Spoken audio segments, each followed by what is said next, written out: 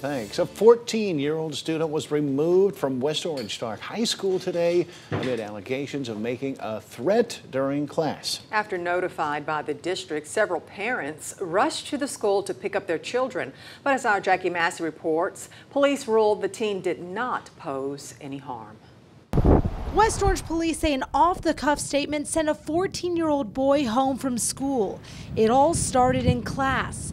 Some kids were acting up, then one teen said he would shoot up the school, according to Assistant Chief So, Jesse you know, Romero. Here again, those things are taken seriously, and we have to we have to in- investigate every one of them that are that are made. The school district immediately called police, then notified parents, posting this on the district's Facebook page, telling them the student was removed from campus.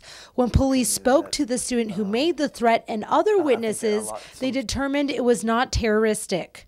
Uh, and nobody that we interviewed took it as uh, a threat to the level that they felt like their personal safety was in danger. He says on Friday another student made a threat about shooting up the school, but it was not considered terroristic. He explains in order for a threat to be considered imminent, people need to be in immediate danger, and the person has to have the means to do it, for example, having a weapon. Romero says the school did the right thing and it's better safe than sorry, and urges teachers, students, and anyone to come forward if they see or hear anything suspicious.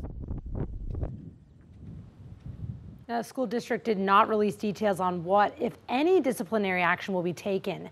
In the studio, Jackie Massey, 12 News. Thank you.